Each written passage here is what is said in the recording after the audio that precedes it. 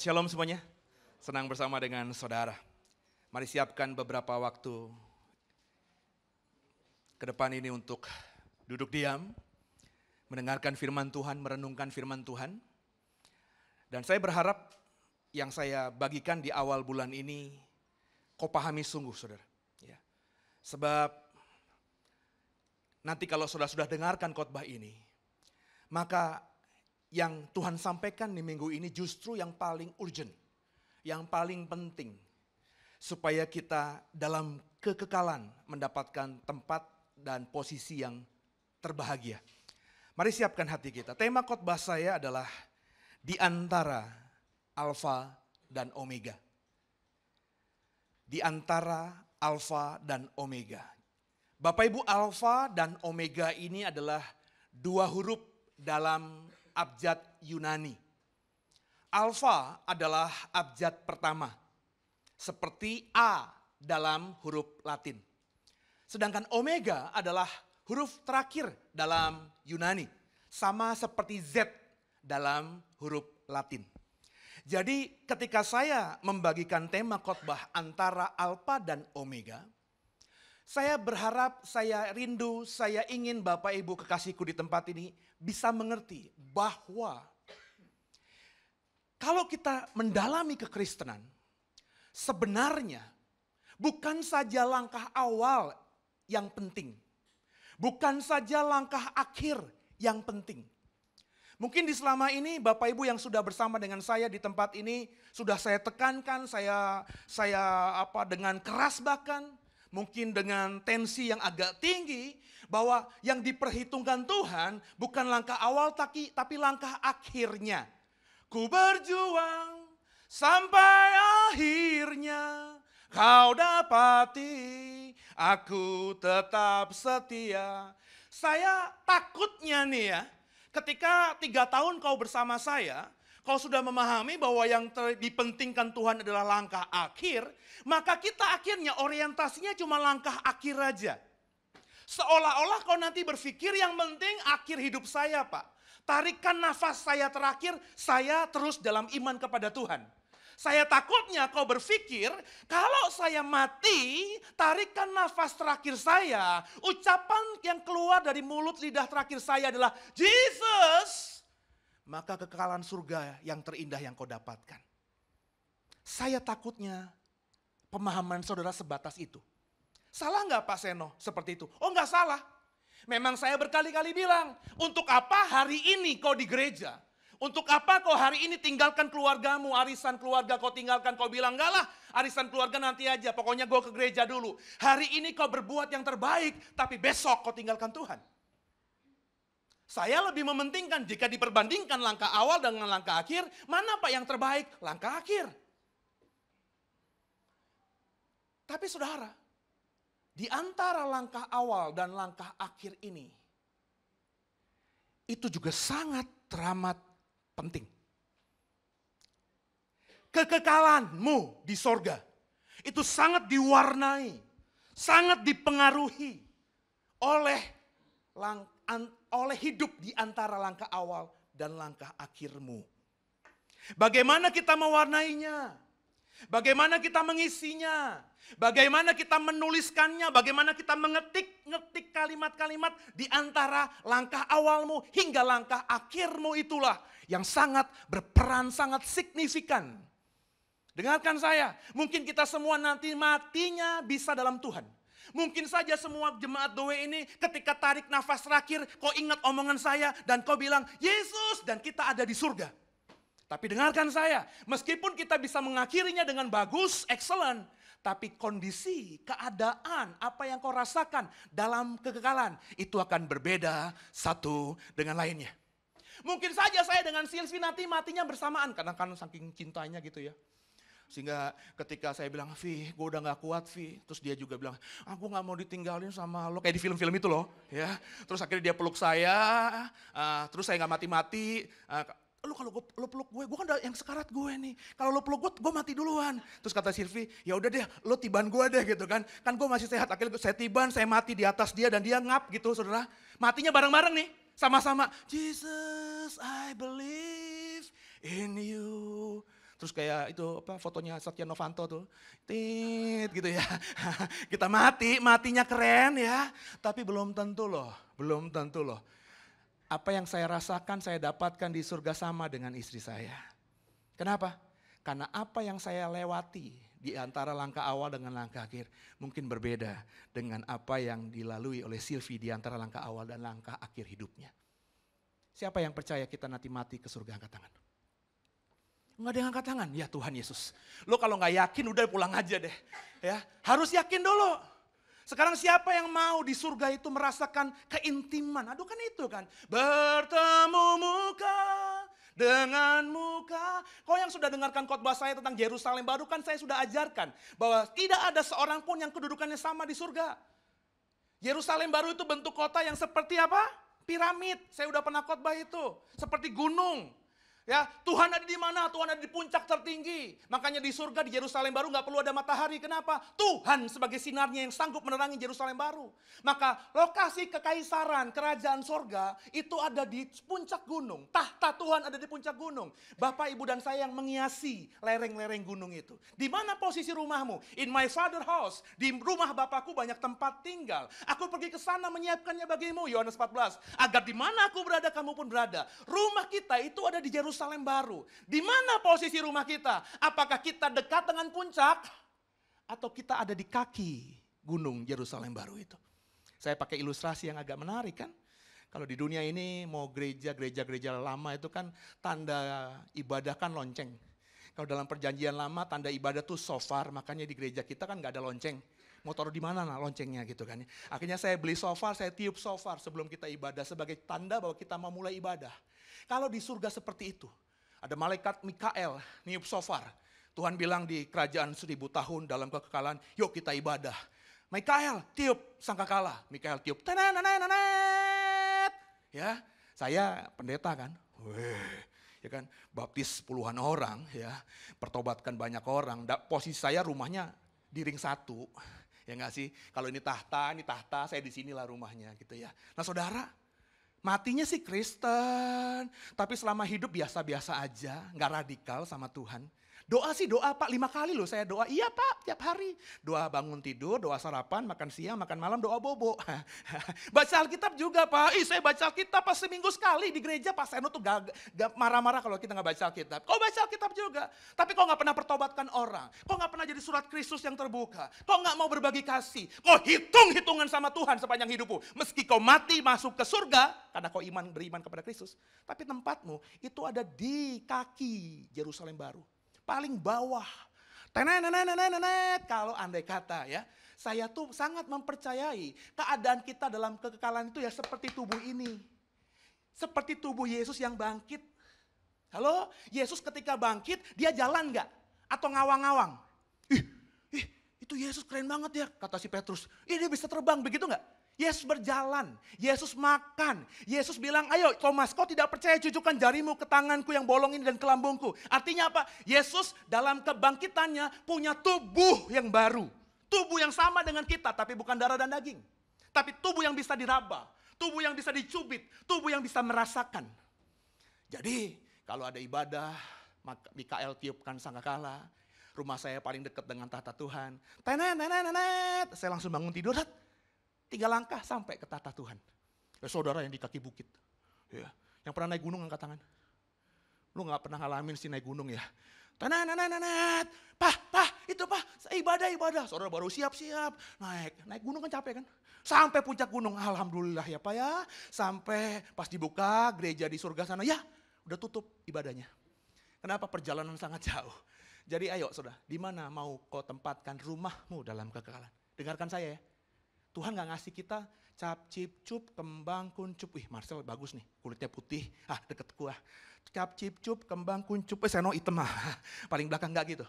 Rumahmu di surga itu yang menentukan posisinya adalah hidupmu di bumi ini. Bagaimana kau menghiasi hidupmu di antara pertobatanmu hingga akhir hidupmu. Itu yang sangat signifikan mempengaruhi hidup kita. Dan kita akan belajar tentang itu pada siang hari ini. Kita tahu saudara, bahwa dalam kerajaan Israel ada dua raja yang sangat terkenal, yakni raja pertama dan raja kedua. Raja pertama siapa saudara? Saul. Raja kedua siapa? Daud. Pada tema khotbah saya di antara alfa dan omega saya tidak akan ngomongin si Saul dan si Daud. Raja pertama dan raja kedua. Saya tidak ngomongin mereka berdua pada hari ini. Yang saya mau bicarakan dalam tema di antara alfa dan omega saya mau berbagikan satu figur tokoh yang sangat fenomenal. Luar biasa yang hidup di antara Saul dan Daud. Siapa dia? Kalau Bapak Ibu sudah membaca Alkitab kita dengan baik di satu Samuel, ada satu figur yang menghiasi, yang selalu berada di antara Saul dan Daud. Figur itu kita kenal namanya adalah Jonathan. Jonathan berarti Yahweh yang mengaruniakan. Jonathan berarti Yahweh yang memberikan. Makanya kalau kau punya anak laki-laki, cucu laki-laki nanti atau mengadopsi anak laki-laki nanti, kau beri nama Jonathan, itu sangat baik artinya. Ketika seorang tua, papa atau mama punya anak laki-laki dan memberikan namanya Jonathan, artinya si orang tua mempercayai bahwa ini adalah pemberian dari Tuhan. Ini adalah anugerah dari Tuhan. Jonathan berarti Allah yang memberikan. Pertanyaannya siapakah Yonatan ini? figur yang berada di antara Saul dan Daud ini. Seringkali Bapak Ibu membaca terlalu fasih, katam tentang Saul. Berapa banyak kita yang hafal banget lika-liku hidupnya Daud. Tapi meskipun kita pernah mendengar kata Yonatan, tapi tidak banyak kita yang menggali tentang Yonatan ini. Saya ketika disuruh Tuhan untuk khotbah antara Alfa dan Omega, temanya saya belum dikasih tahu terlebih dahulu. Itu kurang lebih dua minggu lalu. Ada orang khotbah, saya dengar ngomongin Daud. Terus saya ingat, seperti ada roh yang berkata kepada saya, Daud sering banget dikhotbahin di mimbar-mimbar. Orang banyak mengidolakan Daud dan pengen seperti Daud. Coba deh, selidiki sahabatnya Daud. Saya bertanya siapa sahabatnya Daud itu, saya ingat Jonathan.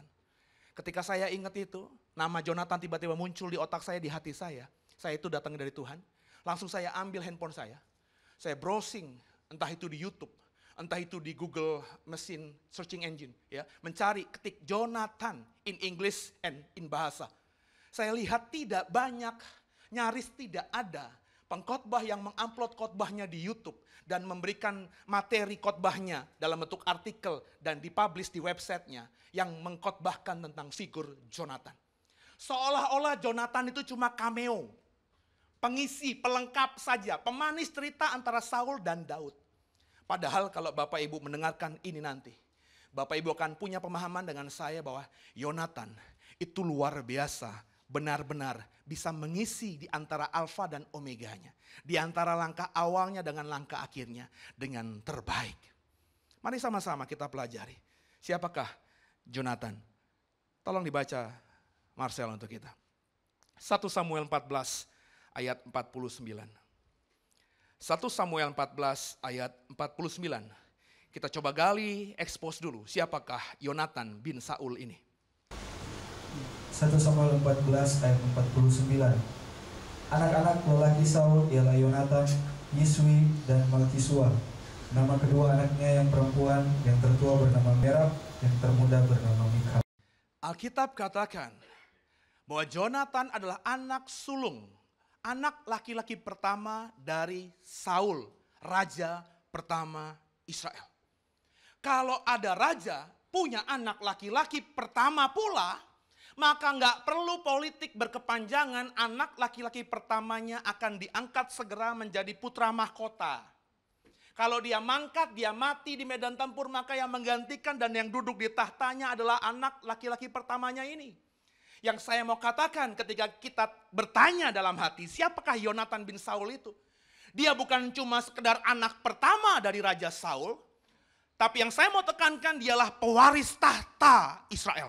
Putra mahkota raja. Tolong pahami dulu. Siapakah Jonathan yang kedua kata Alkitab? 1 Samuel 13 ayat 1 sampai 3. Tolong dibaca terlebih dahulu. 1 Samuel 13 ayat 1 sampai 3. Silakan. Saul berumur sekian tahun ketika ia menjadi raja. Dua tahun ia memerintah atas Israel. Saul memilih 3000 orang dari antara orang Israel, 2000 orang ada bersama-sama dengan Saul di Mikmas dan di pegunungan Betel. Sedang seribu orang ada bersama-sama dengan Yonatan Seribu orang bersama-sama dengan Yonatan di... Gibea Benyamin. Ya lanjut. Tetapi selebihnya dari rakyat itu disuruh pulang masing-masing ke kemahnya. Yonatan dengan seribu tentaranya itu ayat 3 katakan. Yonatan memukul kala pasukan pendudukan orang Filistin yang ada di Geba dan hal itu terdengar oleh orang Filistin. Karena itu Saul menyuruh meniup sangkakala di seluruh negeri sebab pikirnya biarlah orang Ibrani mendengarnya. Dengan hanya seribu pasukannya, Jonathan bisa menunggang balikan, memutar balikan, menghancur leburkan tentara Filistin yang berkuasa saat itu. Siapakah Yonatan yang kedua? Lanjut, pasal 14, ayat 6 sampai 14. Kita akan banyak baca ayat supaya Bapak Ibu mengerti siapakah Yonatan ini. Berkatalah Yonatan kepada bujang pembawa senjatanya itu, Mari kita menyeberang ke dekat pasukan pengawal orang-orang yang tidak bersunat ini. Mungkin Tuhan akan bertindak untuk kita. Sebab bagi Tuhan tidak sukar untuk menolong, baik dengan banyak orang maupun dengan sedikit orang. Lalu jawab pembawa senjata itu kepadanya, Lakukanlah niat hatimu itu, sungguh aku sepakat. Kata Yonatan, perhatikan, kita menyeberang ke dekat orang-orang itu dan memperlihatkan diri kepada mereka. Apabila kata mereka kepada kita begini, berhentilah sampai kami datang padamu, maka kita tinggal berdiri di tempat kita dan tidak naik mendapatkan mereka. Tetapi apabila kata mereka begini, naiklah kemari, maka kita akan naik. Sebab kalau demikian Tuhan telah menyerahkan mereka ke dalam tangan kita, itulah tandanya bagi kita. Ketika mereka keduanya memperlihatkan diri kepada pasukan pengawal orang Filistin, berkatalah orang Filistin itu, Lihat, orang-orang Ibrani keluar dari lubang-lubang tempat mereka bersembunyi. Orang-orang dari pasukan pengawal itu berseru kepada Yonatan dan pembawa senjatanya, katanya, Naiklah kemari, maka kami akan menghajar kamu. Lalu kata Yonatan kepada pembawa senjatanya, Naiklah mengikuti aku, sebab Tuhan telah menyerahkan mereka ke dalam tangan orang Israel. Maka naiklah Yonatan merangkak ke atas, dengan diikuti oleh pembawa senjatanya, orang-orang itu tewas terparang oleh Yonatan, sedang pembawa senjatanya membunuh mereka dari belakangnya. Kekalahan yang pertama ini yang ditimbulkan Yonatan dan pembawa senjatanya itu besarnya kira-kira 20 orang dalam jarak kira-kira setengah alur dari sepebanjakan ladang. Hanya dengan seorang yang membawa senjatanya, dua orang, Jonathan dan bujangnya, bisa membunuh 20 tentara Filistin. Kayak di film-film ya. Kalau Rambo bisa ngebunuh 10 orang, itu film. Dalam keadaan fakta nyata, itu susah sekali satu orang bisa membunuh 10 orang dalam medan tempur. Ya, kalau ada yang bilang di film bisa apa? Itu film. Ya, tapi dalam fakta nyata susah sekali. Satu lawan satu aja belum tentu menang kok. Tapi Jonathan Alkitab yang ngomong, ini bukan cerita fiksi, ini Alkitab. Ya dan amin. Alkitab mengatakan Jonathan dengan hanya bujangnya bisa membunuh 20 orang Filistin. Yang saya mau katakan tentang siapakah Yonatan yang kedua. Yonatan bukan saja putra mahkota, raja, pewaris kerajaan Israel. Tapi Jonathan adalah pahlawan yang gagah perkasa. Dengan seribu orang pasukannya dia bisa mengalahkan tentara Filistin. Dengan dua orang dia bisa membunuh 20 tentara Filistin. Bukankah itu gambaran kita bisa menyimpulkan bahwa Jonathan bukan nader atau apa eh, laki-laki biasa. Laki-laki yang normal biasa. Ini pahlawan gagah perkasa. Orang hebat. Laki-laki luar biasa. Yang ketiga, siapakah Jonathan? 1 Samuel 14 ayat 24 sampai 28. 1 Samuel 14 ayat 24 sampai 28. Kemudian lanjutkan nanti ayat 42 sampai dengan ayat 45-nya. Silakan Marcel. Ketika orang-orang Israel terdesak pada hari itu, Saul menyuruh rakyat mengucapkan kutuk katanya. Terkutuklah orang yang memakan sesuatu sebelum matahari terbenam dan sebelum aku membalas dendam terhadap musuhku. Sebab itu tidak ada seorang pun dari rakyat yang memakan sesuatu. Dan seluruh orang itu sampailah ke suatu hutan dan di sana madu di tanah. Ketika rakyat sampai ke hutan itu, tampaklah ada di sana madu melirik. Tetapi tidak ada seorang pun yang mencedoknya ke mulutnya dengan tangan, sebab rakyat takut kepada sumpah itu. Tetapi Yonatan tidak mendengar bahwa ayahnya telah menyuruh rakyat bersumpah. Ia mengulurkan tongkat yang ada di tangannya dan mencelupkan ujungnya ke dalam sarang madu. Kemudian ia mencedoknya ke mulutnya dengan tangan, lalu matanya menjadi terang lagi. Dan seorang dari rakyat berbicara, katanya, Ayahmu telah menyuruh rakyat bersumpah dengan bersungguh-sungguh, katanya.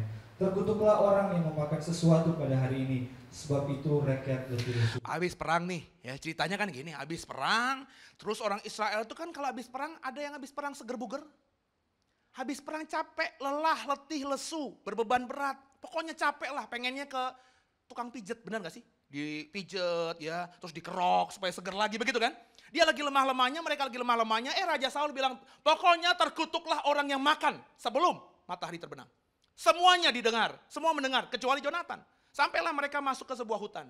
Mereka masuk ke hutan, mereka ketemu ada madu hutan yang meleleh madunya. Mereka semuanya lapar tapi nggak berani makan. Kenapa? Raja mengutuk orang yang makan sebelum matahari terbenam. Jonathan nggak dengar. Jonathan lemah sama capeknya dengan pasukannya. Karena dia nggak dengar, dia tahu dia lemah, dia makan itu. Alkitab tadi katakan kemudian matanya terang. Matanya terang itu bukan berarti tadinya buta terus jadi terang begitu enggak. Lu kan kalau capek gue udah hitam, lo kalau lagi capek ngeliat gue tambah buram lagi, saya bener gak sih? Ya, jadi ketika makan, ya kan kalau kita lapar habis makan kan mata kita berbinar-binar ya. Ya nggak Pak Riko? Kalau kita bisa di Bogor gitu ya, capek ya, macet, hujan, tiba-tiba makan kambing, sop kambing gitu ya. Ya, makan dudung gitu, makan mata kita sudah berbinar-binar begitu ya. Nah sama Jonathan juga demikian. Nah Jonathan baru dikasih tahu pas makan madu tadi. Eh, lu nggak tahu bokap lo ngutuk yang makan sebelum matahari terbenam. Itu kata prajurit kepada Jonathan. Apa yang terjadi berikutnya? Ayat 42 sampai 45-nya. Kata Saul, buanglah undi antara aku dan anakku Yonatan. Lalu didapati Yonatan. Kata Saul kepada Yonatan, beritahukanlah kepadaku apa yang telah kau perbuat. Lalu Yonatan memberitahukan kepadanya, katanya, Memang aku telah merasai sedikit madu dengan ujung tongkat yang ada di tanganku. Aku bersedia untuk mati. Kata Saul, beginilah kiranya Allah menghukum aku, bahkan lebih lagi daripada itu. Sesungguhnya, Yonatan, engkau harus mati. Tetapi rakyat berkata kepada Saul, Masakan Yonatan harus mati? Dia yang telah mendapat kemenangan yang besar ini di Israel, jauhlah yang demikian. Demi Tuhan yang hidup, Sehelai rambut pun dari kepalanya takkan jatuh ke bumi, sebab dengan pertolongan Allah juga dilakukannya hal itu pada hari ini. Demikianlah rakyat membebaskan Yonatan, sehingga ia tidak harus mati. Saul ingin menggenapi kutukannya. Karena kau makan tadi, maka kau harus mati. Rakyat dengar, rakyat itu nggak ada yang berani makan madu karena takut sama kutuknya Saul. Rakyat bahasa sayanya takut sama Saul. Makanya mereka meskipun lapar lelah nggak berani makan. Tapi ketika mereka mendengar raja ingin membunuh Jonathan, yang makan madu itu, rakyat semuanya sepakat, jangan dong makan, jangan dong dibunuh Jonathan. Dia kan pahlawan kita. Dia yang membuat kita menang atas Filistin itu. Dijauhkanlah itu dari Jonathan. Dengarkan, gara-gara rakyat semuanya sepakat, Saul tidak membunuh Jonathan. Yang saya mau katakan, fakta ketiga yang kita temukan di Alkitab, siapakah Jonathan? Bukan cuma sekedar putra mahkota. Bukan sekedar laki-laki yang gagah perkasa. Tapi Jonathan adalah orang yang dicintai rakyatnya. Coba ya, lihat saya semuanya. Siapa Jonathan? Jonathan adalah putra mahkota. Benar? Jonathan yang kedua tadi laki-laki yang gagah perkasa. Tempat perlindungan orang Israel. Kalau punya raja gagah perkasa kan bahagia, aman mereka.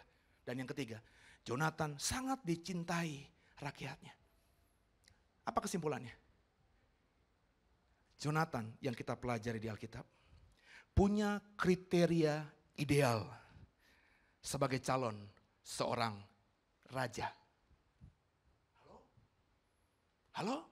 Bukan cuma putra mahkota, Bapak Ibu perhatikan dalam banyak hal dalam sejarah raja-raja Israel. Putra mahkota yang kemudian jadi raja banyak yang cemen-cemen. Benar? Contohnya Yoas yang pernah saya khotbahkan beberapa minggu yang lalu. Dia menjadi raja ketika dia masih usia tujuh tahun. Cemen, masih anak-anak unyu-unyu, nggak ngerti apa-apa. Tapi Jonathan adalah laki-laki gagah perkasa.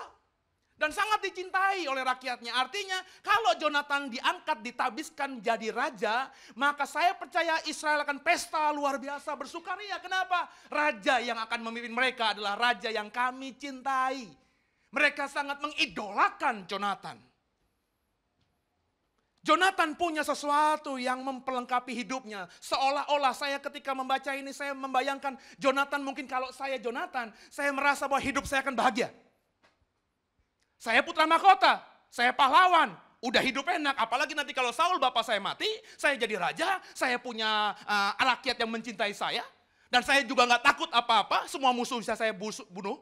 Saya, kalau saya Jonathan, saya berpikir masa depan saya, masa depan yang gilang, gemilang, excellent, luar biasa, sempurna. Jadi kepala nggak pernah jadi ekor nggak pernah turun hidup saya di masa depan, masa depan yang gilang, gemilang.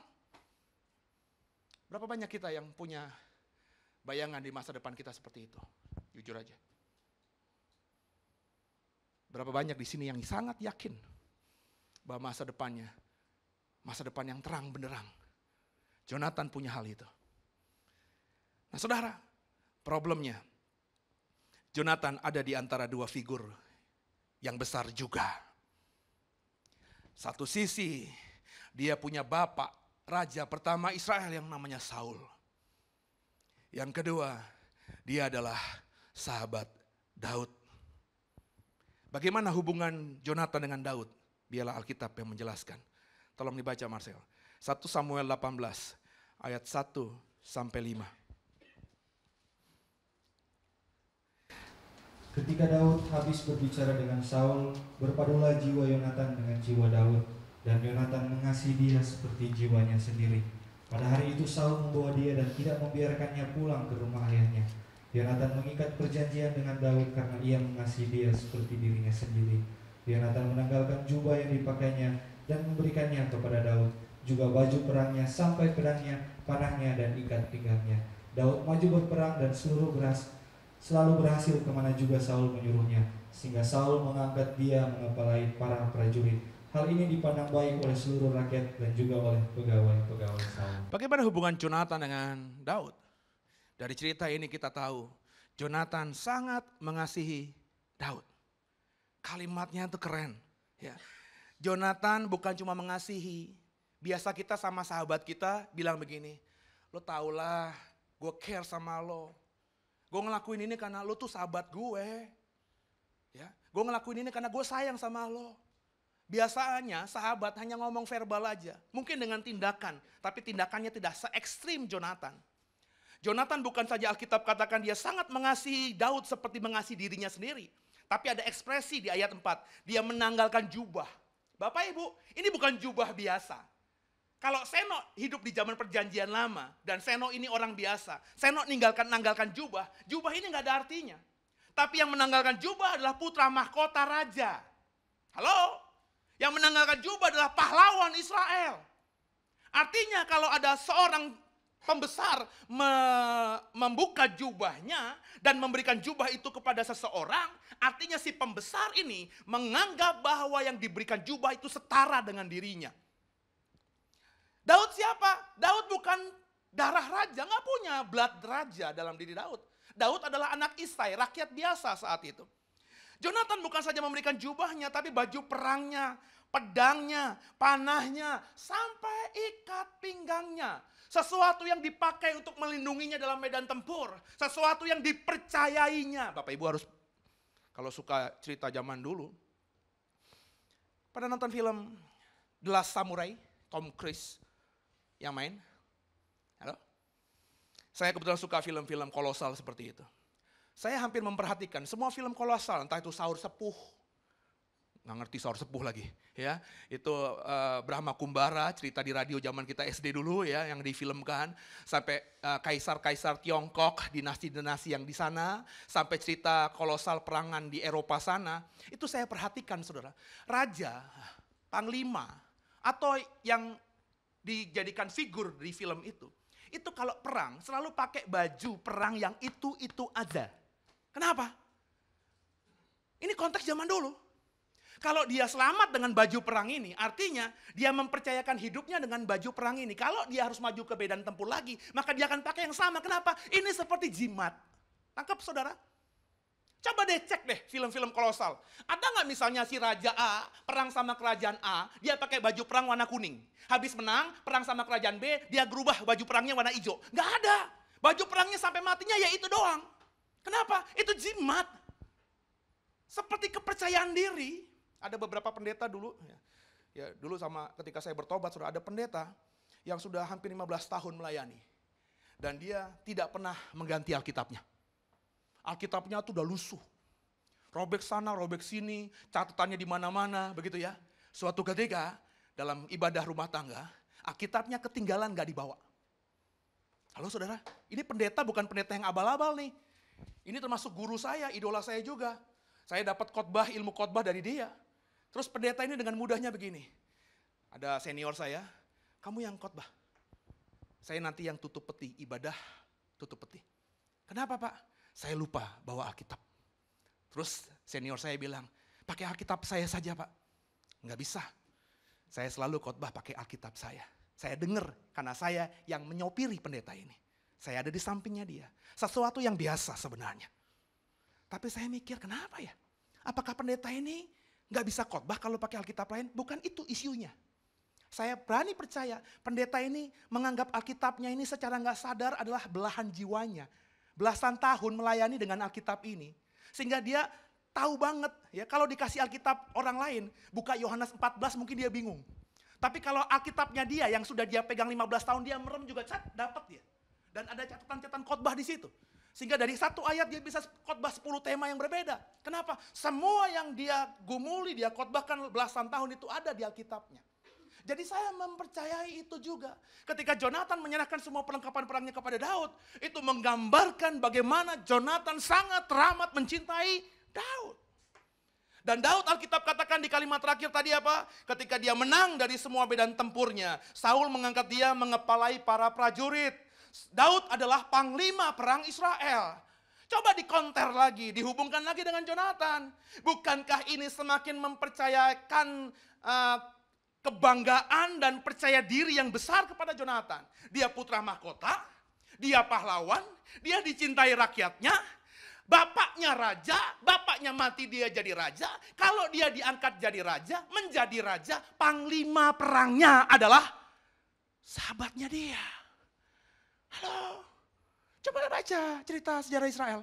Raja kalau naik angka naik naik tahta, maka yang pertama kali diganti adalah panglima perangnya. Why? Karena panglima perang lah yang mengepalai semua tentara. Kalau panglima perangnya nggak bisa tunduk sama dia, maka tinggal tunggu waktu aja dia akan jatuh dari tahtanya. Tapi kalau raja naik tahta dan panglima perangnya adalah soulmate-nya, sahabatnya, maka dia akan memerintah dengan tenang. Kenapa? Pasukanku yang mengepalai adalah sahabatku sendiri. Yang saya mau katakan, Jonathan, punya kriteria paling ideal untuk menjadi raja. Dan saya katakan, dari seluruh pembacaan saya tentang raja-raja Israel yang terdapat di satu Samuel, dua Samuel, satu Tawarik, dua Tawarik, cerita semua raja-raja Israel. Tidak ada satu calon raja yang memiliki kriteria ideal, seideal Jonathan. Tapi gara-gara dia dekat dengan Daud ini, mulai terjadi konflik. Kita tahu ceritanya. Bagaimana Daud mau dibunuh sama Saul. Dan itu dimulai karena ke mana pun Daud perang selalu pulang dengan kemenangan. Sehingga rakyat Israel sering melakukan kalau Daud masuk ke kotanya, ke pintu gerbang, maka rakyat menyanyikan, Saul mengalahkan beribu-ribu. Raja Saul memang menjadi pahlawan kami bisa membunuh beribu-ribu musuh. Tapi Daud berpuluh-puluh ribu berlaksa-laksa dalam terjemahan Indonesia. Artinya rakyat secara tidak sadar memposisikan Daud lebih populer, lebih hebat, lebih dikjaya, lebih luar biasa dibandingkan Saul. Itu yang membuat Daud, Saul akhirnya menjadi iri hati. Kalimatnya di 1 Samuel 18 ayat 6 sampai 9. 1 Samuel 18 ayat 6 sampai 9. Coba kita baca. Silakan Mas. Pada waktu mereka pulang ketika Daud kembali sesudah mengalahkan orang Filistin itu, keluarlah orang-orang perempuan dari segala kota Israel menyongsong Raja Saul sambil menyanyi dan menari-nari dengan memukul rebana, dengan bersukaria dan dengan membunyikan gerincing. Dan perempuan yang menari-nari itu menyanyi berbalas-balasan katanya, Saul mengalahkan beribu-ribu musuh, tetapi Daud berlaksa-laksa. Lalu bangkitlah amarah Saul dengan sangat dan perkataan itu menyebalkan hatinya. Sebab pikirnya, kepada Daud diperhitungkan mereka berlaksa-laksa tetapi kepadaku diperhitungkannya beribu-ribu. Akhir-akhirnya jabatan raja itu pun jatuh kepadanya. Sejak hari itu maka Saul selalu mendaki Daud. Sebenarnya masuk manusiawi kalau bagi saya. Saya kalau baca Alkitab itu saya berusaha, saya mengajak saudara kan. Kalau baca Alkitab tuh jangan terlalu dipengaruhi sama cerita-cerita yang pernah kita dapatkan sebelumnya. Bacalah firman Tuhan benar-benar dengan hati yang mau belajar minta roh kudus terangi, terus pemahamanmu. Ini kayak gini nih, saya khotbah tentang Jonathan ya. Nanti kalau kau mau mendalami tentang Jonathan, Bapak Ibu tergerak mau berkhotbah tentang Jonathan di komselmu, di persekutuan doamu, silahkan. Tapi jangan dipengaruhi cerita Jonathan yang saya khotbahkan ini. Kalau Bapak Ibu terlalu dipengaruhi sama cerita Jonathan yang saya khotbahkan ini, maka Bapak Ibu khotbah tentang Jonathan, copy paste khotbahnya saya. Saya ketika membaca ini, saya diajarkan dulu. Saul iri, ya. Saul berarti punya hati yang kotor gitu ya. Tapi kalau saya memahami sungguh, sebenarnya nggak ada yang salah dengan apa yang dikerjakan oleh Saul. Kenapa? Karena peristiwa ini dilatar belakangi Saul sebagai raja yang baru perang, pimpin tentara perang Israel bersama semua panglimanya termasuk Daud di situ dan semua prajurit-prajuritnya masuk ke pintu gerbang kerajaannya. Jadi kan sebenarnya Saul yang tertinggi yang harus dipuja dan dikagumi oleh rakyatnya karena dia ikut berperang. Saul masuk ke pintu gerbang itu, tapi rakyat menyanyikan Daud, Saul mengalahkan beribu-ribu, Daud berlaksa-laksa. Iri hati. Jangan bilang, enggak lah pak, kalau saya jadi Saul mah nggak begitu, Beh, bohong lu. Lu pasti iri juga, ya. ya. Kita mengepalai tim di kantor kita, ya. Kita kerja mati-matian, ya. Misalnya Marcel adalah tim saya saya hanya tim, kepala tim, Marcel auditingnya ya. Memang tugasnya pokoknya mengaudit, bikin uh, laporan keuangan yang jelimet itu menjadi bagus dan bersih. Saya tekan Marcel, saya lo kerjain yang benar Sel. Maka Marcel selama dua minggu itu tidak tidur ya, tidur di kantor, nggak mandi sampai bau banget lah pokoknya ya. Dia ngerjain dan akhirnya sukses. Tetap aja kan, saya kepalanya Marcel. Maka saya lah yang membawa laporan itu kepada atasan saya, benar? Eh, tapi semua rakyat, semua teman-teman di kantor tahu yang kerja Marcel. Maka di belakang saya, saya kedengaran di kuping saya, Marcel emang keren banget itu ya. Si saya namanya pemimpin bajingan. Saya, saya nggak akan gini. Emang Marcel kamu patut mendapatkan penghargaan itu. Yang ada, Sel, lo pindah sekarang. Kepala, uh, udah seneng. Kepala apa? Kepala gudang. Di Cisauk sana. Jadi saya lempar gitu saudara ya. Itu hal yang wajar, manusiawi sebenarnya. Tapi ini yang dilakukan oleh Saul. Kalimat terakhir tadi apa? Saul selalu mendengki. What the meaning of dengki? Saya coba lihat di kamus besar bahasa Indonesia. Kata dengki itu memang maknanya cukup dalam ya. Tapi ketika saya refer dengan bahasa aslinya, bahasa Ibrani, dengki di situ menggunakan kata Ibrani awan atau avon. Avan atau avon, saudara, itu secara harafiah artinya ngeliat selalu salah, ngeliat selalu jelek, ngeliat selalu jahat. Ketika saya avon sama Marcel, ya, maupun Marcel udah dandan, ya, ngelakuin apa pun yang terbaik yang dia bisa. Di mata saya, lu tetap jelek. Lu tetap brengsek. Bukan beneran ya, lu jangan marah sama gue ya. Lu tetap salah. Itulah avon yang kemudian diterjemahkan menjadi kata dengki dalam LAI ini, terjemahan LAI ini. Berapa banyak kita yang di sini seperti itu? Lo gak peduli objektivitasnya. Yang lo perlu pentingkan subjektivitas. Ketika ada orang sudah ngeselin kita, orang itu berbuat baik sama kita, ngejilat kita sekalipun kita tetap enek sama dia. Inilah Saul, saudara. Problemnya Saul tuh itu, kalau dia iri, ya kenapa rakyat kok lebih muja si Daud? Itu manusiawi lah. Tapi gara-gara itu, dia jadi awon sama Daud. Padahal kerajaannya, tahtanya aman karena Daud yang perang ke mana pun dia utus selalu pulang dengan kemenangan. Daud itu pahlawan dia, pelindung dia, malaikat pelindungnya Saul. Kalau Saul kerasukan setan, bener nggak? Terus dipanggil Daud, bener nggak? Ngapain Daud? Ya kalau bahasa sekarang joget-joget gitu ya, ngebadut ya. Bahasa zaman dulu dia main main apa kecapinya. Tak Saul tiba-tiba tenang lagi. Ini kan malaikat penjaga. Tapi apa pun yang dikerjakan Daud kepada Saul, Saul awon sama Daud. Jelek loh, brengsek loh.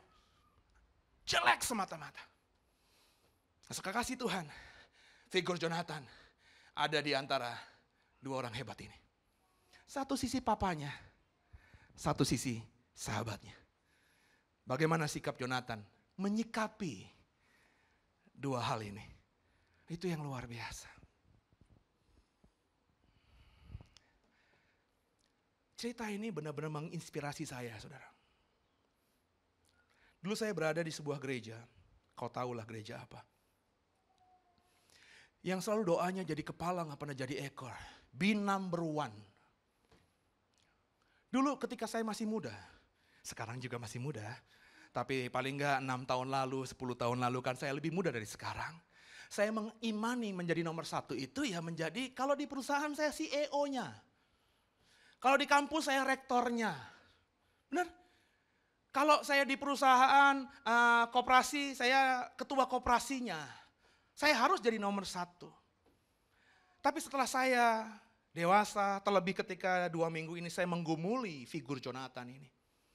Saya mengalami perubahan paradigma dalam mengartikan, memahami menjadi nomor satu itu. Jonathan bagi saya adalah contoh luar biasa. Kalau kau dan aku mau menjadi orang nomor satu dalam perspektif yang benar itu. Apa yang dikerjakan oleh Jonathan? Mari kita buka 1 Samuel 19 ayat 1 sampai 2 saya akan bacakan untuk saudara. 1 Samuel 19 ayat 1 sampai 2. Saul mengatakan kepada Jonathan anaknya dan kepada semua pegawainya bahwa Daud harus dibunuh. Tapi Jonathan anak Saul sangat suka kepada Daud. Sehingga Jonathan memberitahukan kepada Daud, ayahku Saul berikhtiar untuk membunuh engkau. Oleh sebab itu hati-hatilah besok pagi. Duduklah di suatu tempat perlindungan dan bersembunyilah di sana. Ketika Jonathan tahu bahwa bapaknya mau ngebunuh Daud.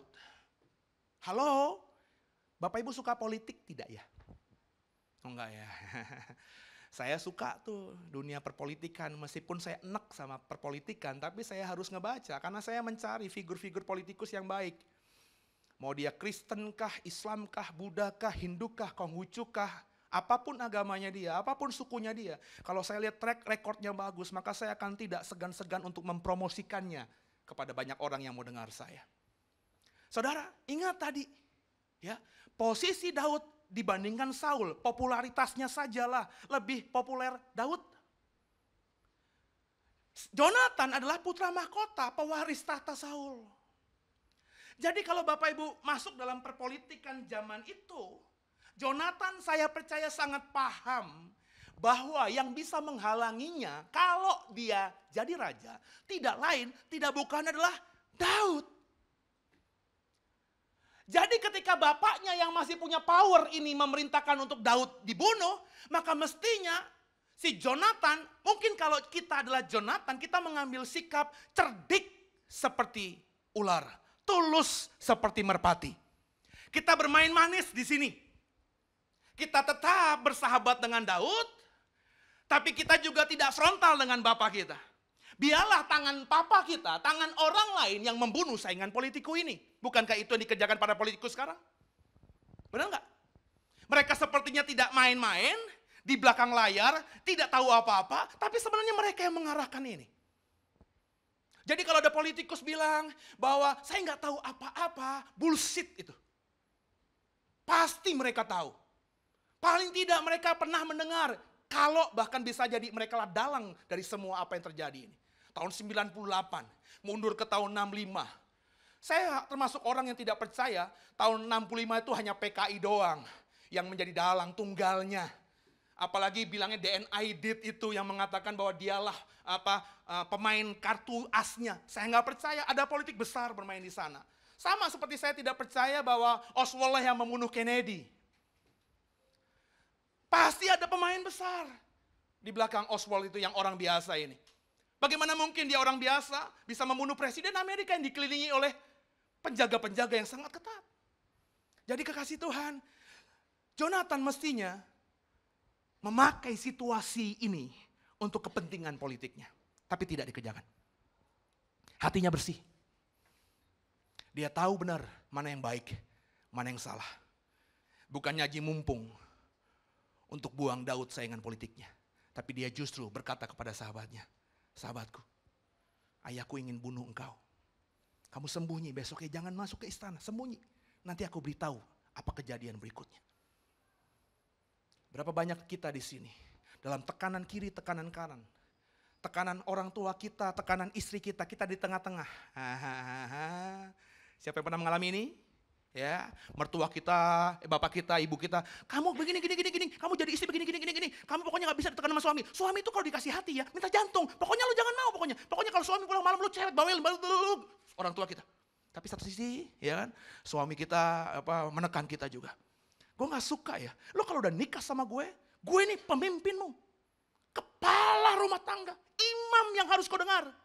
Orang tua itu memang orang tuamu. Kau lahir di bumi ini karena mereka. Tapi ketika kita sudah bersatu, ingat, dua sudah menjadi satu. Kalau aku A, maka itu adalah bukan sunnah, tapi wajib. Oh, bingung kita di tengah-tengah. Dilema. Nggak ada yang pernah begini. Wah, kebetulan punya keluarga yang sakinah, mawadah dan waromah ya. Harmonis kita. Pernah yang? Oh sering. Ya, pernah. Sama ibu saya di awal-awal pernikahan, wah kayak kucing sama anjing. Ya, ya di atas ya tidak di atas tidak. Pembelajaran buat kami. Dan saya mau ngajar saudara yang mau nikah atau yang baru nikah muda. Sampai satu sisi saya dilema. Satu ibu, satu bini ibu. Surga di bawah telapak tapak kaki ibu. Gue sampai ketika harus mengambil keputusan, duduk bu.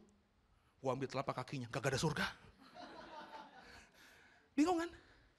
Kalau bokap yang neken gue, saya mungkin bisa lebih objektif. Tapi ibu, Silvi bilang, lu tuh anak ibu. Muka lo sama muka ibu tuh 11-12. Lo tuh ibu yang pakai daster, dibilang gitu. Iya kan? Ibu yang pakai dasi. Ya. Jadi mirip banget, sampai seperti itu. Gue bingung kan, harus gimana? Pernah mengalami ini. Ya. Tapi tadi saya sepemahaman saya, bukan saya membanggakan diri saya sendiri. Ketika awal pernikahan saya satu dua tahun awal itu, keput apa masalah apa pun dari ibu dan dari Silvi, saya bisa mengambil dengan bijak. Ya, pernah nggak melukai istri gara-gara ibu? Pernah. Pernah nggak buat ibu nangis gara-gara Silvi? Sering. Sering. Saya itu pemegang firman Tuhan ketat loh Bapak Ibu. Hai suami, keluarlah dari rumah ibu bapakmu. Itu saya tafsirkan literal.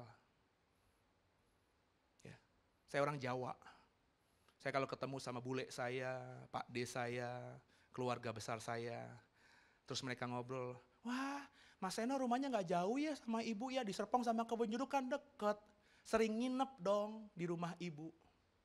Tanya Silvi. Sejak saya nikah dan keluar dari rumah ibu saya, pernah nggak saya nginep di rumah ibu saya? Nyaris nggak pernah. Kalaupun pernah sekali dua kali, itu pun ketika bapak saya sakit parah. Kenapa saya mengambil sikap ini? Apakah saya tidak mencintai ibu saya? Saya mencintai. Cuma saya nggak mau membawa keluarga saya masuk dalam lingkungan yang tidak berkenan kepada Tuhan. Ya. Saya keluar. Pas Eno kayak gitu hubungan sama ibu nggak deket ya. Wah saya berusaha setiap hari telepon ibu saya. Hanya sekedar bilang, halo bu, ngapain? Besok telepon lagi. Pertanyaan yang sama keluar, bu ngapain? Sampai seringnya ibu saya bilang pas dengar suara saya, halo bu, ibu lagi masak. Kenapa? Pertanyaan yang sama itu yang saya tanyakan. Saya hampir setiap hari hubungi ibu saya. Dan saya bilang sama Silvi, pokoknya seminggu sekali, sesibuk apa pun kita, harus main ke rumah ibu. Anak-anak boleh nginep nggak? Saya tanya sama Sian, Sian mau nginep rumah ayangnya? Senang, karena rumah ayangnya lebih besar.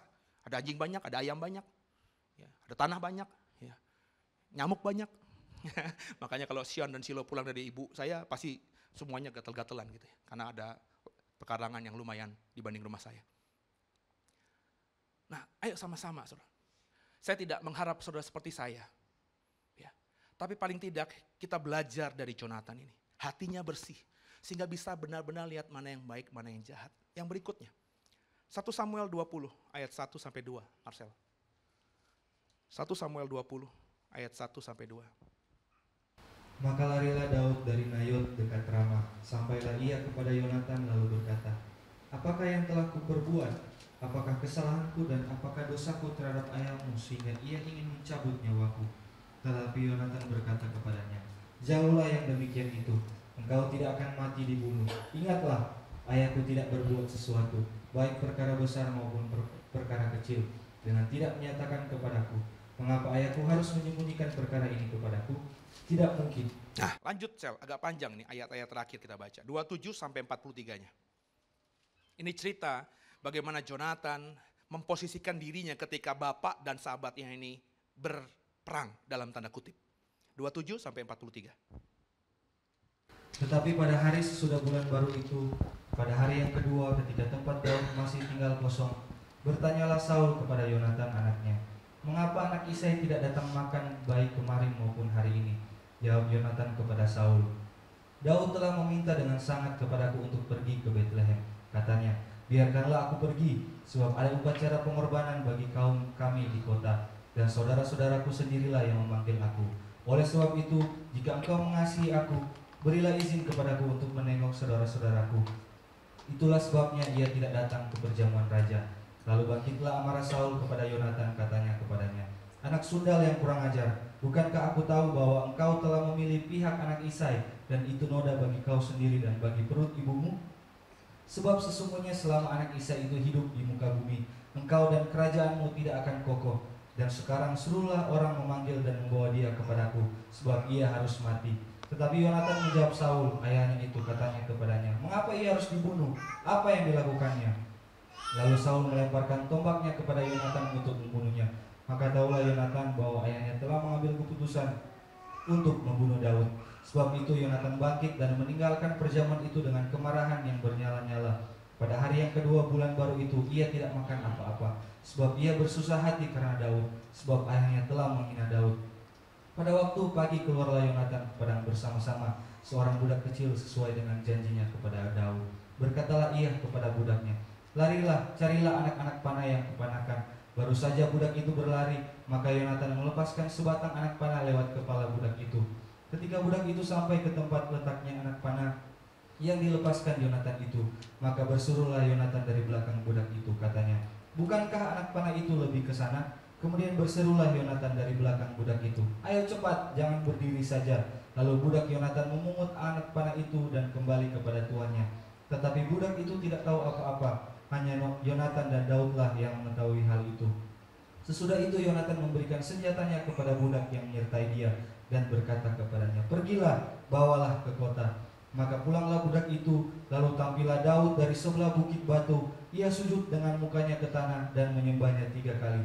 Mereka bercium-ciuman dan bertangis-tangisan. Akhirnya Daud dapat menahan diri. Kemudian berkatalah Yonatan kepada Daud, "Pergilah dengan selamat, Bukankah kita berdua telah bersumpah demi nama Tuhan? Demikian, Tuhan akan ada di antara aku dan engkau, serta di antara keturunanku dan keturunanmu, sampai selamanya.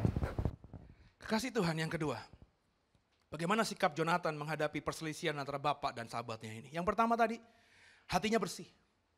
Clear, dia bisa melihat mana yang benar, mana yang salah. Yang kedua dari ayat yang barusan dibaca tadi, Jonathan menunjukkan kesetiaan dan bisa menjaga komitmen Halo? Dia akhirnya benar-benar berkomitmen seperti janjinya kepada Daud. Ketika dia secara langsung tidak langsung memberikan jubah dan perlengkapan perangnya kepada Daud. Menganggap Daud adalah orang yang paling dikasihnya. Dia mengasihi Daud lebih daripada mengasihi dirinya sendiri. Dan itu ditunjukkannya dengan komitmen yang tinggi. Jonathan melepaskan Daud dari cengkeraman bapaknya. Jonathan dalam situasi yang pelik, buah si malakama, tapi ia berhasil mengambil langkah yang benar. Resikonya apa saudara? Resikonya kehilangan tahta. Ketika dia melepaskan musuh bapaknya ini yang adalah sahabatnya, maka resikonya dia akan kehilangan tahta. Ketika Daud nanti pergi dan rakyat lebih mempercayakan tahta kepada Daud, maka dia akan kehilangan sesuatu tadi. Padahal, seperti saya bilang di awal, Jonathan memiliki kriteria paling ideal untuk menjadi raja berikutnya. Tahta bukan cuma ada di depan matanya, tapi sudah bisa dia genggam sebenarnya. Tahta bagi Jonathan itu bukan cerita isapan jempol. Bukan cuma kalau, jika, tapi sebenarnya tinggal dia duduk aja. Yang membedakan dirinya dengan duduk di tahta itu hanya waktu. Kenapa? Saul, bapaknya, masih hidup. Tapi ketika dia melepaskan Daud, dia beresiko kehilangan tahta. Dan dengarkan saya, siapa di sini yang menolak tahta? Tahta bicara mengenai kekuasaan, tahta bicara mengenai kekayaan, tahta bicara mengenai kewibawaan, tahta bicara mengenai pengaruh dan lain sebagainya. Sesuatu yang dalam hati manusia ingin digapai, ingin diraih. Sehingga banyak manusia di luar sana yang menghalalkan segala cara asal bisa dapat tahta itu. Tikam sana, tikam sini, nggak peduli sahabat, nggak peduli saudara, sekandung sekalipun. Kalau itu menghalangi dirinya, dia bisa sikat begitu rupa tak takut akan Tuhan. Tapi tidak dengan Jonathan. Ia bisa melihat dengan objektif bahwa Daud tidak salah. Dia bisa melihat dengan subjektif bahwa Daud dipelihara Tuhan. Dan tahulah kita semua, Jonathan akhirnya tidak pernah menjadi orang nomor satu di dalam kerajaan Israel. Itu kenapa Jonathan tidak dikenal dan tidak mau dikenang. Orang banyak, orang Kristen kebanyakan. Gagal pak. Udah tinggal duduk, eh nggak bisa duduk. Fatal pak. Ngapain belajar orang yang gagal meraih mimpinya? Di kacamata banyak orang Kristen, Jonathan adalah contoh figur orang yang gagal tapi dengarkan saya sebagai gembalamu, sebagai hamba Tuhan mengajarkan kau bahwa Jonathan adalah figur yang sangat luar biasa. Ia sukses mengisi hidupnya. Ia sukses membuat sesuatu yang ada di antara alfa dan omega hidupnya menjadi berwarna. Ia bisa tunduk kepada Tuhan dan dia juga bisa mematikan kedagingannya. Tunduk kepada Tuhan dengan arti dia tahu bahwa Daud meskipun dizolimi begitu rupa. Bapak Ibu tahu ceritanya Daud kan ketika dizolimi sama Saul. Sampai tidak ada sejengkal tanah di Israel yang aman bagi Daud.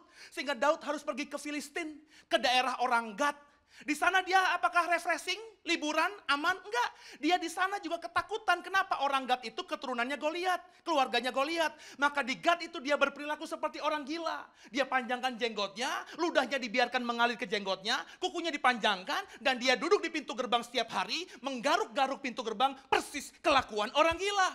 Kenapa? Gad itu adalah kampung halamannya Goliat. Tahu dong ceritanya ini, saya udah pernah khotbah. Tapi meskipun Daud dizolimi begitu rupa oleh Saul, tapi Daud tetap survival. Jonathan bisa melihat ini nggak mungkin sahabatku ini bisa seperti ini dengan kuat gagahnya sendiri. Pasti ada pertolongan Jehovah Adonai, Allahnya Abraham, Ishak dan Yakub. Maka dia tunduk sama Tuhan. Dan dia bisa matikan kedagingannya. Saya percaya Jonathan punya mimpi juga duduk di tahta yang empuk itu. Tapi karena dia takut akan Tuhan, Bagaimana Tuhan memelihara Daud. Akhirnya dia mengurungkan niatnya. Dan dengarkan saya, bahasa saya. Dia matikan kedagingannya. Dan dengarkan saya, mematikan kedagingan itu tidak ada yang enak. Daging, dosa, semuanya nikmat. Sebagai laki-laki tidur dengan perempuan cantik, apakah itu tidak enak? Pak, Pak, Lihat istrimu dulu pak. Lihat istrimu. Lihat li istri lo. Gue nanya, tidur sama perempuan yang jauh lebih tinggi dari Aling, lebih seksi, bibirnya belas sembilan, langsung pipitnya tiga meter ke dalam, badannya kayak gitar Spanyol, enak nggak? Ya, ya lo ngomong dosa karena lo di depan gue. Tapi kalau ngomongin diri sendiri, nanya sama diri sendiri, saya aja berani jujur kok. Itu enak kok. Siapa yang bilang gak enak? Tapi tiba-tiba tawaran itu ada. Kesempatan itu ada. Terus kita bilang, enggak lah. Cuma lima menit rasanya juga sama aja. Kita udah dewasa nih. Oke, kita udah dewasa, saya nggak ngomong porno. Ya cuma lima menit rasanya. Meskipun gitarnya Spanyol bentuknya, badannya. Bas betot. Enggak lah. Gue kotori hidup gue ini hanya untuk kepuasan lima menit. Halo, mematikan daging itu nggak enak. Coba deh, coba kita dewasa ya. Nih saya ngomong nih, saya nggak ngomong porno. Lu tahu udah tiga tahun kenal gue gue nggak pernah ngomongin yang macam-macam. Lu tahu isi hati gue. Perempuan udah telanjang di depan gue Terus gue tinggalin. Ada yang ninggalin, hore gue menang. Yang ada pas, mungkin kita ninggalin tapi... Bener gak? Sakit. Kesempatan yang langka kita lewatkan. Tapi kita kerjakan itu kenapa? Kita takut akan Tuhan. Dan Jonathan melakukan itu dalam hidupnya. Dan saya bilang di mimbar ini, gue kagum sama orang ini. Setelah gue gali tentang Jonathan, dia masuk kriteria orang pertama yang akan gue cari kalau gue masuk ke surga nanti. Saya udah pernah bilang kan, kalau saya ke surga saya mau ketemu siapa pertama? Yesus. Kenapa? Gue pengen konfirmasi muka dia tuh kayak gimana. Yang di film-film atau yang di lukisan seperti itu, atau seperti lukisan-lukisan lain. Orang Cina bilang Yesus matanya sipit. Orang Jawa bilang Yesus pakai bangkul belangkonan. Ya, kita nggak tahu. Kalau gue ke surga gue pengen cari lihat mukanya Yesus. Kayak gimana sih? Yang kedua siapa? Saya pernah bilang, saya pengen ketemu Abraham. Ya, dan Jonathan, lebih gue pengen ketemu daripada gue pengen ketemu Daud dan Saul dan Salomo. Gue pengen lihat orang seperti apa sih dia. Yang begitu luar biasa legowonya. Dia tahu callingnya dia. Dia tahu panggilan yang Tuhan berikan kepada dia. Dia bukan sebagai raja kedua Israel. Meskipun sudah di depan mata, karena dia tahu dia bukan jadi raja. Menjadi raja bukan pilihan dan tentuan Tuhan buat dia. Dia lepaskan dengan sukarela bagi sahabatnya. Sepertinya jatuh, gak dapat apa-apa. Tapi dia adalah seorang pemenang. Dan dengarkan saya, Gusti ora sare. Tuhan tidak tidur. Memang Jonathan akhirnya mati tanpa pernah sekalipun duduk di tahtanya. Tapi kalau kita lihat cerita berikutnya, karena waktu nggak mungkin kita buka semuanya. Dari seluruh keturunan Saul, Saul punya berapa anak tadi? Lima, tiga lekong, dua perek. Semuanya mati. Lima-limanya pernah punya anak. Tapi dengarkan saya, anak dari anak-anaknya Saul, cucu dari Saul yang hidup hanya satu orang yang namanya Mesfiboset. 2 Samuel 9. Siapa Mesfiboset ini? Mesfiboset adalah anak dari Jonathan. Saul dan keluarganya yang lain, adik kakaknya, keponakannya, semuanya mati. Tapi Mesfiboset diselamatkan Tuhan dan yang keren kalau kau baca bagaimana Mephiboset dipelihara Tuhan. Mephiboset akhirnya dipertemukan dengan Daud. Sahabat bapaknya ini. Dan yang keren, sahabat bapaknya yang sudah jadi raja ini bilang sama Mephiboset. Nak, papamu itu sahabatku. Ini pakai bahasa saya ya, kalimatnya nggak ada begitu di Alkitab ya. Papamu itu mencintai aku lebih dari dirinya sendiri. Dan aku pun demikian. Papamu sudah nggak ada. Tapi dengarkan nak, dia perintahkan pengawalnya. Semua harta kekayaan Saul, anak-anaknya, mantu-mantunya, cucu-cucunya, semua kekayaan keluarga besar Saul berikan pada Mephiboset ini. Nak, kau hidup enak. Kau nggak akan kesusahan. Dan kau bukan saja akan kuberkati dengan semua harta milik keluargamu. Tapi mulai hari ini nak, apa yang ada di meja makanku ini, makanan yang dipersembahkan untuk raja aku, silahkan kau makan. Sepanjang hidupnya, Mephiboset, anak Jonathan, hidup kaya raya dan terima berkat makanan dari meja makan raja. Apa yang raja makan, dimakan Mephiboset. Apa yang diminum raja, diminum Mephiboset. Apa yang dinikmati raja, dinikmati Mephiboset. Dengarkan saya terakhir. Kadang kita melakukan terbaik untuk Tuhan. Berkatnya nggak bisa kita rasakan sekarang. Tuhan tapi nggak pernah berhutang. Saya melakukan A, B, C yang terbaik untuk Tuhan. Tapi sepanjang hidup ya saya begini-gini aja. Secara ekonomi saya nggak punya rumah dua. Secara tampilan saya begini-gini aja. Saya nggak punya uang untuk ke Thailand memancungkan hidung 2 meter. Memutihkan kulit. Membaguskan gigi. Ya, gigi saya kalau, lo lihat gigi gue nggak? Ya, dokter gigi kalau lihat gigi saya gemes. Makanya saya nggak mau ke dokter gigi. Ya terlebih ada dua dokter gigi yang kenal sama saya. Selalu kalau ketemu saya, Pak, gue perbaiki ya gigi lo ya Pak. gitu. Kenapa gigi saya tuh masuk keluar masuk keluar. Ya. Wow, kuman aja masuk ke gigi bingung. Ini nyerang yang mana dulu nih? Habis liku-liku begitu ya. ya. Mungkin saya nggak bisa sampai hidup mati saya begini aja. Tapi dengarkan saya, apa yang saya tabur nanti akan saya tuai. Mungkin yang menuai bukan saya ya. Yol, bukan lo, bukan suami lo. Tapi bisa jadi yang menuai adalah Gaby. Yang menuai apa yang saya tabur bukan saya dan Sylvie. Tapi bisa jadi nanti Sean dan Silo yang akan menikmatinya. Kekasih Tuhan, excellent di mata Tuhan. Isilah hidupmu di antara awal pertobatanmu hingga akhir hidupmu yang terbaik. Tahu callingmu, panggilanmu dari Tuhan. Pertahankan itu sampai akhir. Kau akan diberkati Tuhan. Keturunanmu akan diberkati Tuhan. Berikan kemuliaan yang meriah bagi Tuhan.